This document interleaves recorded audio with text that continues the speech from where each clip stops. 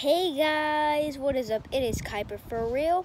Welcome back to another video. I know I didn't post Friday. That's because I uh, sprained my foot Thursday and it was really hurting. And um, my mom told me to wear a boot, but I didn't want to. So I had to walk on my heel all day, which hurt my leg, and all I wanted to do was relax, guys. So today's story is unstoppable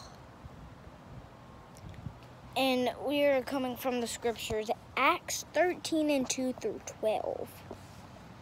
One day, as these men were worshiping the Lord and fasting, the Holy Spirit said,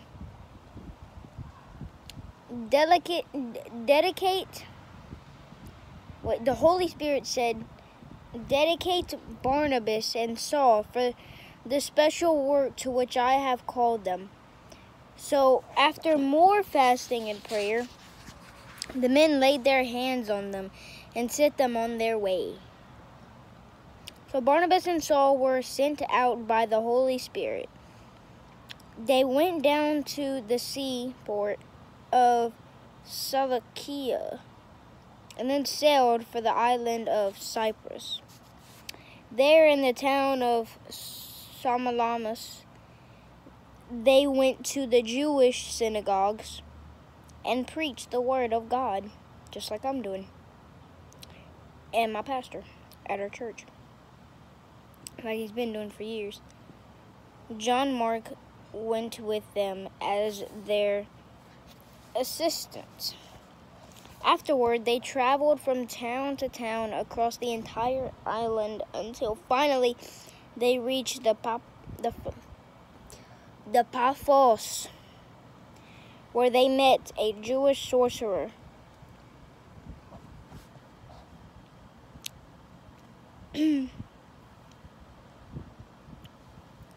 a false prophet named Bar Jesus. What, is, what, what, what this guy doing? What is this guy doing? I don't know. I do not know. He had attached himself to the governor, Sergius Paulus, who was an intelligent man. The governor invited Barnabas and Saul to visit him, for he wanted to hear the word of God, but Elymas the sorcerer, and as his name means in Greek, in interfered and argued the governor to, to pay no attention to what Barnabas and Saul said.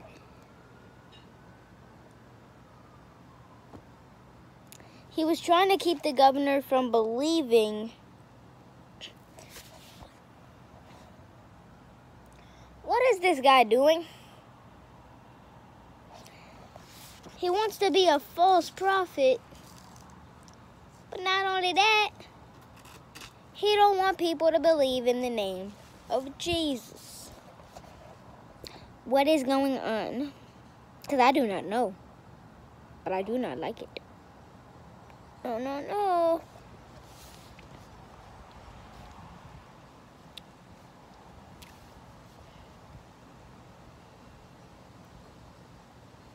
Saul, also known as Paul, was filled with the Holy Spirit. And he looked the sorcerer in the eye. Then he said, You son of the devil, full of every sort of deceit and fraud, an enemy of all that is good, will you never stop perverting the true ways of the Lord?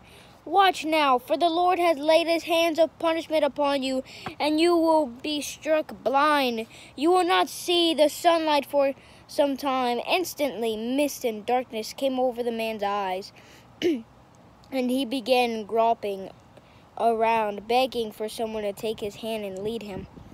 When the governor saw what had happened, he became a believer, for he was astonished at the teaching about the Lord. So he didn't want them to believe. Well, guess what? Believed anyways. Kind of stupid guy. Um, this shows us a lot about what the power of God can do. And um, to believe in the Lord and don't try to become somebody you're not and don't try to like make people think you're Jesus and be a sorcerer or whatever. Don't.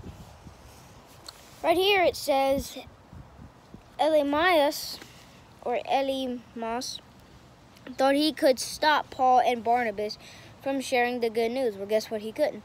Elymas was wrong, and God blinded for his actions, him for his actions.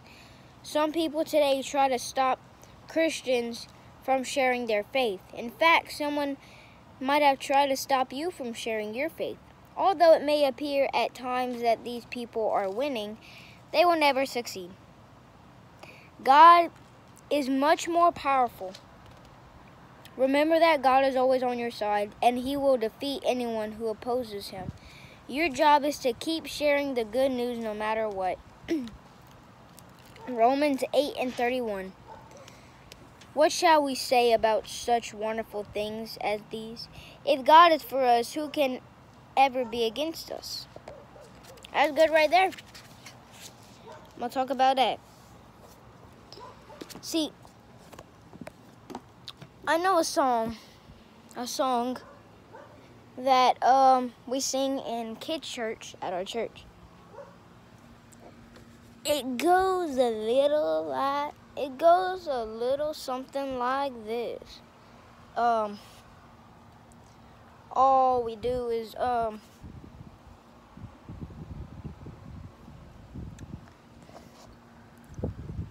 Uh, trying to remember it. it goes, um, if God is for us, who can be, who can be against me? So basically, it tells us if God is for us, or if we believe in the name, then who can stop us? Like, we're gonna take on the world. Okay, not like that, but um like nobody if you believe in the Lord you have a good connection with him pretty good connection um the Lord's going to protect you you're still going to get hurt okay not like you're invincible no people are still going to be mean to you but God is going to help you He's going to help you go through it. Now, I'm not going to spend too much time on it, so I'm going to end it here. But just it doesn't matter if they're long or short is that is that you keep it in your heart and then you believe in the Lord. All right? Believe believe in the Lord with all thine heart. Well, before I end it, God needs to come through and talk. He needs to come and talk a little bit. All right, let's listen. Believe in me with all thine heart. For I shall save you if you believe in me. Do not believe in the enemy, because the enemy did not save you. I came down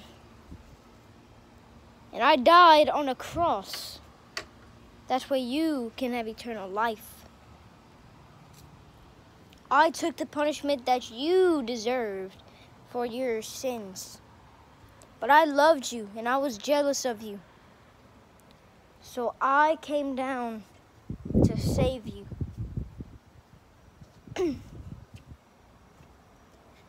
you may think you don't deserve anything I give you.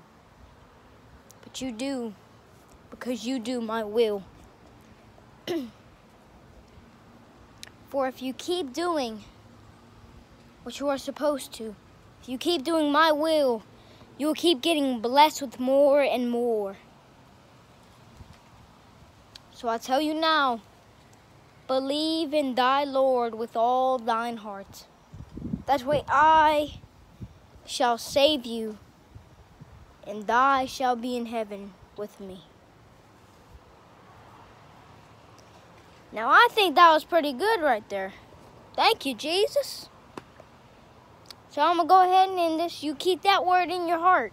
Remember it with your heart. Not in your brain, with your heart. Remember it. J just hide it in your heart. Not in your brain, in your heart. Father God, I just want to thank you for this day, God. I want to thank you for all that you do. Thank you for giving us an awesome word today, God. Please help tomorrow to be a good word. Please help it to be blessed. Thank you for blessing this word on this beautiful Monday, God. I thank you for all that you do. Please help tomorrow to be a great day at school for the viewer and for all of us, God ask that you forgive us of our sins, God, every unrighteous thing that we did, God. Everything we shouldn't have done, but we did anyways, and we knew we shouldn't have do it, but we just wanted to be cool, God. Ask that you forgive us, Lord, of every unrighteous thing, God. We will continue of all our days to love and praise your name. We thank you for all that you do, Lord, and we thank you for coming down and taking the punishment that we deserve, Lord. In Jesus' name I pray. Amen. thank you guys for watching. I'll see you guys in the next video. Remember, I love you, God loves you, and everybody who believes in the Word loves you. And I'll see you in the next video. Peace, guys.